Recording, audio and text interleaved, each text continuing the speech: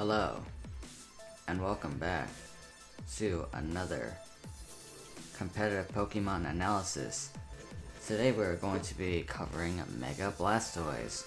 Uh, it's like, it's the Mega Evolution of Blastoise, and he's just more powerful, more bulky, but his speed and HP stay the same. I don't know why I talk about this. Anyways, uh, going back to the regular stuff, this analysis along with any other analysis will only be covering fully evolved Pokemon in their respective generations. So, no little cup stuff like that, you will not be finding it here. Uh, something I tend to do for these competitive Pokemon is that I, would got, I kind of want to get creative on my part. Otherwise, they are from Smogon, and the stuff will happen there. Also, if you don't notice here for Mega Blastoise, Mega Evolutions will have their own analysis, so stay tuned for those. And uh, one more thing is that I might screw up, like, whenever I do these videos, because I'm not the best at battling, okay? Give me a break. Give me a... Okay.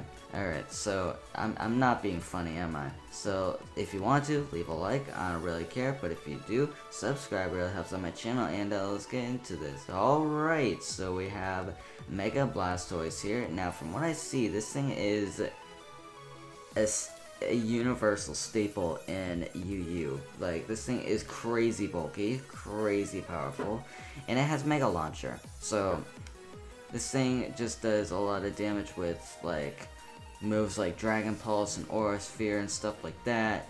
And uh, just the fact that he's bulky, it doesn't help either. He, he gets Aqua Ring as well. And uh, yeah, he can like deal with Pokemon that are like really weak. They, he can deal with like Flygon and Mega Garchomp as well. Like, he's that bulky. You can also deal with Hydreigon. God damn, why do you have to deal with Hydreigon? He can deal with Hydreigon. He can he can also like go against like Goodra for that matter, actually. So, uh, yeah. Uh, I think we're good on that part. Oh, boy. Oh, boy. Oh, boy. Oh, boy. Ah, Alright, now on to the moveset. Okay, we're back. Um, I'm gonna try not to do that again. Alright, so the the move set that you could put on this thing, it's kind of similar to what we do with regular Blastoise, except these it's gonna have a difference in power. So Scald and Ice Beam, like either one of those can be used. Like Scald is to like weaken physical attackers, and uh, which which already is getting crazy on Mega Blastoise because it's so bulky, especially on like on both sides of like physical and he's more defensive on like the physical side actually now that I think about it.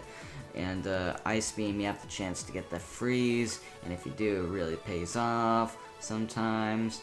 And uh, aqua ring is like to keep the quote-unquote leftovers going and it's like to recover HP and uh, another move that I would like to put on it is uh, new, like on it, which is Dragon Pulse.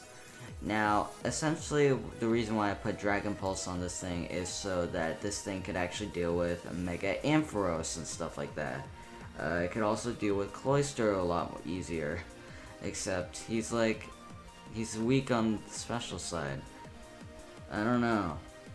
I really don't know why I again, I don't know. Another good thing to go with that is that it, it also helps that I can deal with Haxorus a lot better because this thing has insane attack.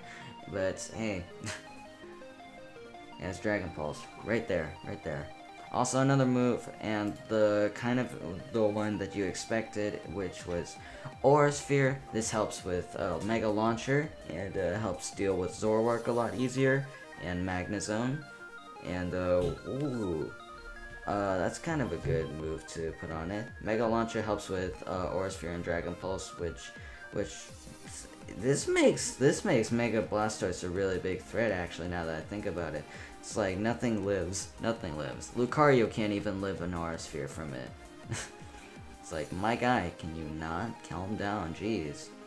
Now, another the downsides for this Pokemon is that this thing is kind of slow. And, uh, a Venusaur, even, even like, regular Venusaur can actually be used against this thing like really well. And uh, I know that like Mega Venusaur is like an OU, but hey, Mega Blastoise can also be used in OU. So what's up? Hey, hey, you can't tell me that I'm wrong.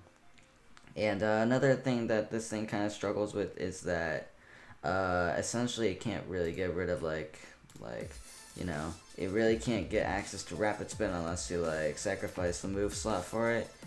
And uh, grass types like Celebi, I know it has Ice Beam, but it really can't OHKO like like Celebi and stuff like that. And uh, it's like just it's because it's too bulky. Celebi's like too bulky as well.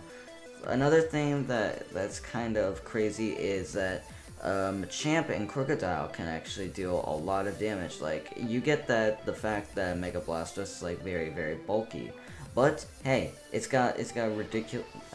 Machamp and Krookodile, if you put a Choice Band on Machamp or a Choice Scarf, if you Scarf a Krookodile, then you can, like, get the Moxie Boost, No Guard. It's like, they do ridiculous amounts of damage. They actually might, they can, they can actually 2-ko, 2-hit KO, like, like Mega Blastoise and stuff. Another thing that, that Mega Blastoise tends to struggle with is Heliolisk. And Mega Ampharos for that matter. Electric types actually, now that I think about it, are just like ridiculously good. And uh, like Heliolisk, it gets access to Dry Skin, which like really uh, nullifies the effect of Scald, meaning you can't really burn this thing. And a Mega Ampharos, even though you have like Ice Beam and Dragon Pulse for it, it's still like ridiculously powerful. It, it still eats it up really well because so bulky.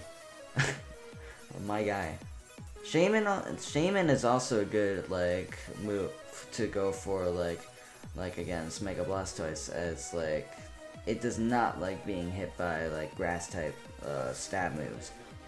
And uh, last but not least, Vaporeon, way too bulky for this thing. Sylveon, also way too bulky for this thing. Umbreon, way too bulky.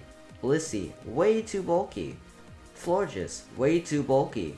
There are too many special walls in UU, and, and these just so happen to be a few of them. And I'm actually just reading off of Smogon right now, so, yeah. It's like, geez, Blastoise does not like Wish and Protect. I'm just reading that right now. And, uh, yeah, that's unfortunate. So there you have it. That is the competitive analysis for Mega Blastoise. If you guys have enjoyed this episode of competitive Pokemon analysis, be sure to hit that like button down below.